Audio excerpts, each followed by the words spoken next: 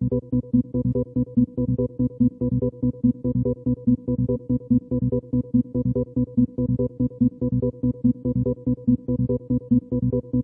really screwy is it hits straight for the brain.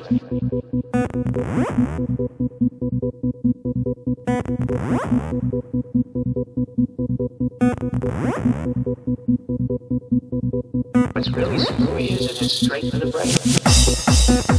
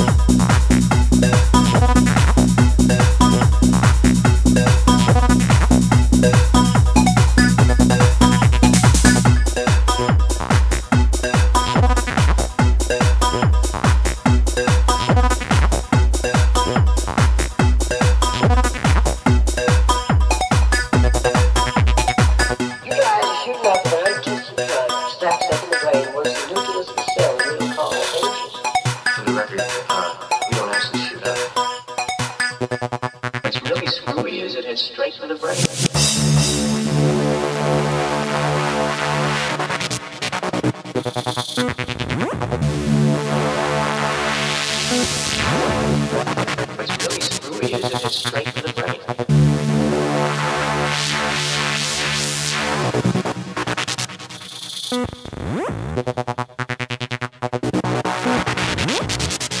What's really screwy is if just straight to the brain.